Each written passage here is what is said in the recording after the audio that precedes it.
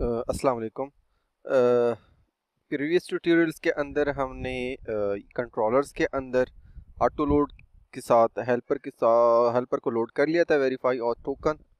तो इस ट्यूटोरियल के अंदर हम देखेंगे अच्छा यहाँ पे मैंने हेडर्स ऐड किए हैं। इनका पर्पस ये है कि ये अगर आप रिएक्ट साइड से या किसी भी दूसरे एप्लीकेशन से, फ्रंट एंड से रिक्वेस्ट करते हैं, इस कंट्रोलर की एपीआई को, लाइक, लॉगिन के लिए करते हो, साइन अप के लिए करते हो तो फिर वो कोरस का इशू आता है। तो ये कोरस इशू मैंने यहाँ पे हैंडल किया है। तो ये उस पर्पस के लिए हेडर्स के अंदर रिक्वेस्ट जो आती है, ठीक है? उसके बाद यहाँ पे मैं वैलिड मैंने साइन अप किया है, साइन इन किया है, ठीक है? और ये साइन अप है। तो प्रीवियस एपीआई के अंदर मैं दिखा चुका हूँ कि यहाँ पे सक्सेसफुली साइन अप हो जाता है। और उसके बाद से फिर जो है ना, नेक्स्ट प्रोसेस ये होता है कि जो क्रेडेंशियल आपने जिससे साइनअप किया है, उससे आप लॉगिन करते हो। जब आप सक्सेसफुली लॉगिन कर लेते हो तो वो क्या करता है, आपको एक टोकन जनरेट करके रिटर्न देता है रिटर्न में देता है। अभी मैं आपको एग्जांपल के तौर पे यहाँ पे दिखा देता हूँ। फॉर एग्जांपल मेरे पास है यहाँ पे लॉगिन और यहाँ पे मैं इसको देता हूँ, आमिर, मैं अपने क्रेडेंशियल देता हूँ। यहाँ पे अगर मैं क्रेडेंशियल रॉन्ग देता हूँ तो इधर से मैं वो करता हूँ। तो ये मुझे कहता है कि ये यूज़र एग्जिस्ट नहीं कर रहा, क्योंकि क्रेडेंशियल ठीक नहीं है। तो अब मैं ओरिज सही क्रेडेंशियल देता हूँ। इसको मैंने रिमूव किया, दोबारा से रिक्वेस्ट करता हूँ। ये मुझे एक टोकन रिटर्न करके दे देता है, ठीक है? ये टोकन जब मैं इसको इधर से कॉपी कर लेता हूँ, अब मैंने एक दूसरा ऑथेंटिकेशन के लिए एपीआई क्रिएट की जो है क्या? जो कि है यूज़र्स की, ठीक है? अभी मैं फॉर एग्ज़ाम्पल उसका कोड मैंने अभी इधर से रिमूव किया आपको मैं स्टेप बाय स्टेप करके बताऊँगा, ठीक है? अभी मैं यहाँ पे आपको दिखाने के लिए गेट रोल्स का दिखा देता हूँ फॉर एग्ज़ाम्पल ये मैं कॉपी किया, इसको मैं इधर पेस्ट कर लूँ। और राउट्स के अंदर मुझे देखना पड़ेगा कि रोल्स के लिए मैंने क्या किया जस्ट रोल है, ठीक है, इसको मैं इधर पास कर लेता हूँ। रोल्स और यहाँ पे गेट रिक्वेस्ट है सेंड किया। तो ये देखें, उसने मुझे रिस्पांस में सारे के सारे रोल्स दे दिए, ठीक है। अब ये एपीआई जो है अथेंटिकेटेड नहीं है मींस इसके लिए J W T authentication required नहीं है। अब अगर यूज़र्स के एपीआई को देखें, मैं इस पर ऑथेंटिकेशन लगाना चाह रहा हूँ कि ये हर कोई एक्सेस ना कर सके इसको, वही यूज़र एक्सेस कर सके जिसके पास ऑथेंटिकेशन का टोकन हो, ठीक है? उसका तरीका कार ये है फ़र्स्ट ऑफ़ ऑल इसको मैं क्लोज कर लूँ, इसके अंदर मुझे कोड करना पड़ेगा और मैं ऑलरेडी इसका एपीआई का कोड लिख चुका हूँ तो मैं, मुझे यहाँ से इसका कॉपी करना पड़ेगा, यहाँ पे मैं पेस्ट करके आपको मैं स्टेप बाई स्टेप एक्सप्लेन कर लेता हूँ। अच्छा इस लाइन के अंदर अगर आप देखें मैंने लिखा है हेडर टोकन ये input get header request header से जो है ऑथोराइजेशन लेता हूँ। ये कहाँ से आएगा? ये आपका यहाँ से आएगा। आपके हेडर के अंदर पोस्टमैन से जब मैं रिक्वेस्ट कर रहा हूँ, ये मेरे पास ऑथोराइजेशन हो गया, ठीक है?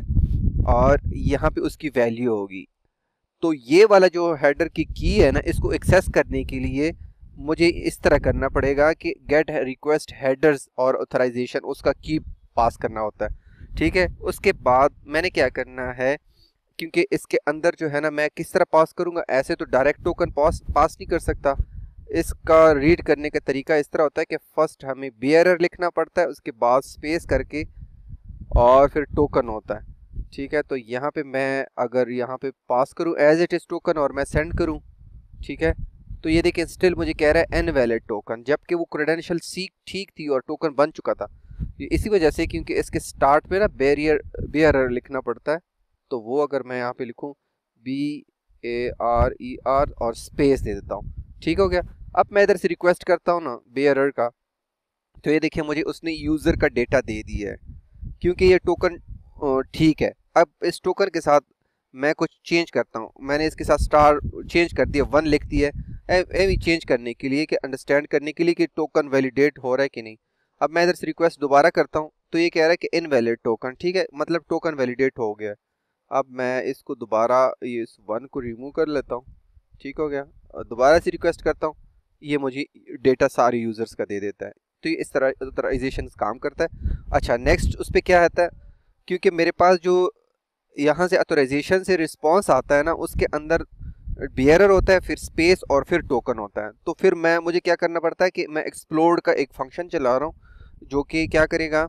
स्पेस की जहाँ पे स्पेस उसको मिलेगा, वहाँ पे उसको ब्रेक कर देगा और रिटर्न में मुझे एरिया दे देगा। तो रिटर्न में एरिया जब देगा तो मैं मैं क्या, यहाँ पे क्या कर रहा हूँ? मेरे पास ज़ीरो इंडेक्स के अंदर, यहाँ पे ज़ीरो अगर मैं लिखूँ तो मेरे पास आएगा बेयरर नाम, ठीक है?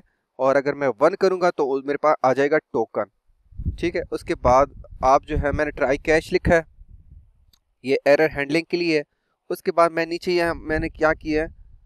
अब मैंने यहाँ पे किया है कि वेरीफाई ऑथ टोकन इसको मैं टोकन पास कर रहा हूँ जो ऊपर मेरे पास है। ठीक है? टोकन पास किए यहाँ पे। उसने रिस्पॉन्स करके यहाँ पे टोकन उसने दे दिया, जबकि वेरिएबल का नेम सेम है, लेकिन कोई नहीं। अगर आप इसको चेंज करना चाहें, तब भी कर सकते हैं। कोई ऐसा इशू नहीं है। मुझे लग रहा है स्वैप कर जाएगा यहाँ पे। ठीक है? उसके बाद ये ऑथ वेरीफाइड टोकन कहाँ से आया? ये हमारे पास हेल्पर है। अगर हेल्पर हम देखें तो यहाँ पे मैंने हेल्पर क्रिएट किया था। यहाँ पे वेरीफाई और टोकन के नाम से ये वो फ़ंक्शन है जो क्या करता है? टोकन पैरम में लेता है, ठीक है? उसके बाद उसको देखता है लोग उसकी सीक्रेट की होती है, फिर उसको डिकोड करता है जो जो आप हैशिंग देते हैं उसको और उसका अलगो होता है। उसके ऊपर वो आपको जो है ना डिकोड करके जेसन फॉर्मेट में रिटर्न करवा देता है। सही है? तो ये मेरे पास रिटर्न के अंदर टोकन आ जाएगा। अब यहाँ पे मैं इफ़ कंडीशन के अंदर चेक कर रहा हूँ, अगर टोकन मेरे साथ रिस्पॉन्स में आता है तो फिर क्या करता है? फिर यूज़र्स का डेटा मैं फैच करवा रहा हूँ। अगर टोकन रिस्पॉन्स में नहीं आता, इसका मतलब है टोकन एनवेलिड है या टोकन है ही नहीं तो फिर इस चेक को चलाने की ज़रूरत नहीं है डेटा नहीं पास करना। उसके बाद वो क्या करेगा? एक्सेप्शन थ्रो करेगा और नीचे आ जाएगा यहाँ पे, और यहाँ पे मैंने उसको हैंडल किया और एरर को वापस भेजा है कि टोकन इनवैलिड हो। तो ये सिंपल सा प्रोसेस है। आप नेक्स्ट अगर कोई भी एपीआई दूसरी बनाते हैं तो उसके लिए आपको ये करना पड़ेगा, आप हेडर से टोकन लेंगे इस तरह करके।